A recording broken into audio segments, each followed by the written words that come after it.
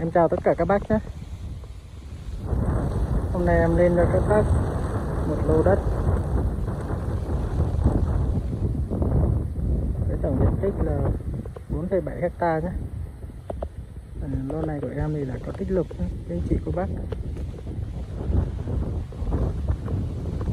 Lô đất của em hôm nay thì à, thuộc xã Sa Long huyện Ngọc Hồi tỉnh Con Tum nhé.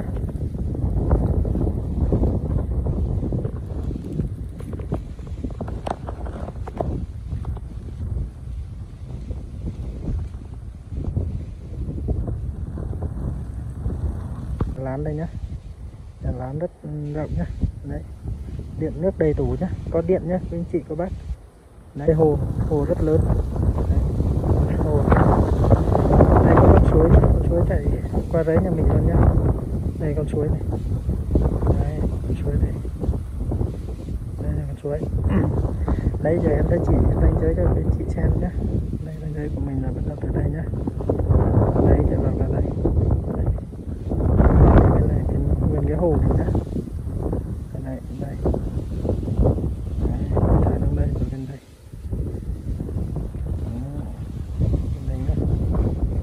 Đây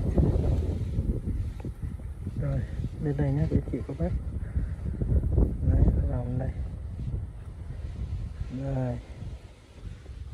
Đấy.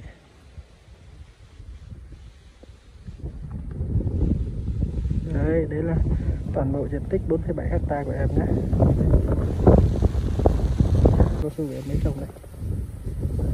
Cao su phát triển rất mạnh nhé.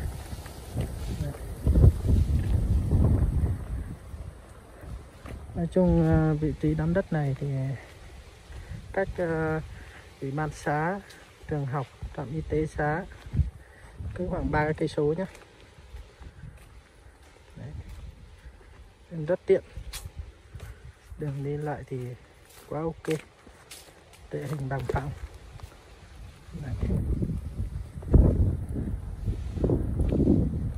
đây nguyên đám mì này là mới trồng à, cao su nhé sẽ quay cái đám cà phê kinh doanh cho quý chị xem. Một ngàn mốt cây cà phê kinh doanh đây.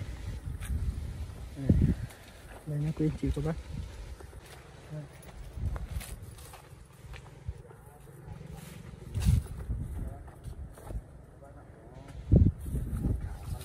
Đấy.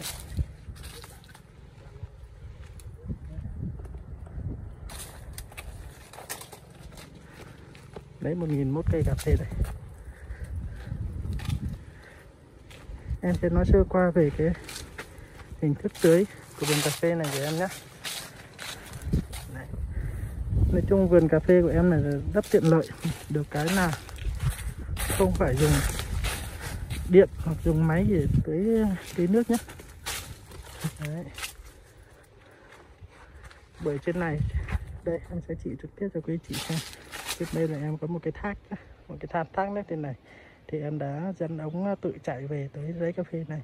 Đấy tới mùa tưới là chỉ có cắm bét vào nhá cắm bét vào là tự tưới nhá tự động hết. Đấy tiện lợi một cái đám này là đây, đây đường ống này. Đường dẫn à, dẫn nước từ trên thác về của em đấy. Này. đấy. Dẫn đi hết rẫy luôn nha quý anh chị cô bác nên là quý anh chị cô bác đầu tư vào đám đất này thì không phải đầu tư thêm một cái gì nữa này. từ ống rồi bếp rồi và hệ thống uh, tưới tiêu thì rất chi là ok hết đầy đủ hết rồi nhá Đấy.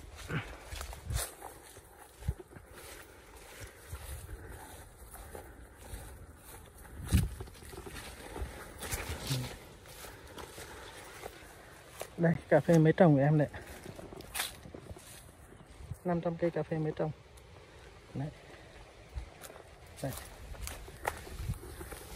Nói chung bây giờ bắt đầu vào mùa khô và cà phê phát triển như thế này là chất đất.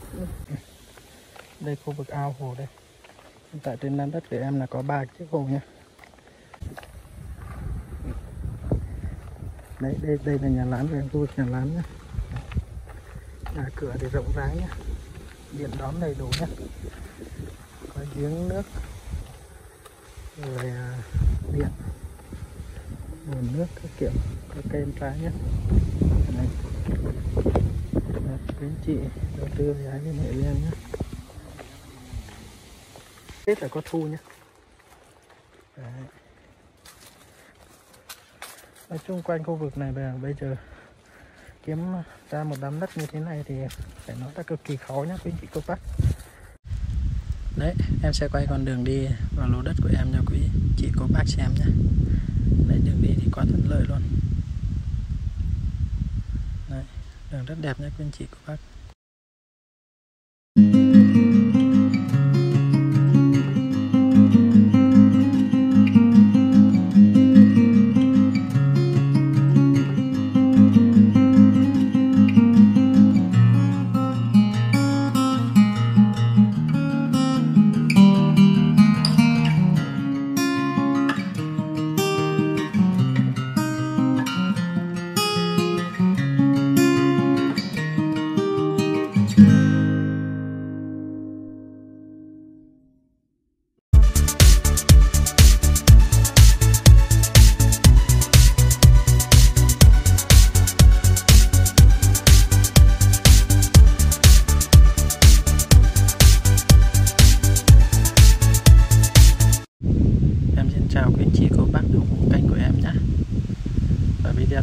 Sẽ ra một lô đất rất rẻ. Rất có tiềm năng cho quý anh chị xem nhé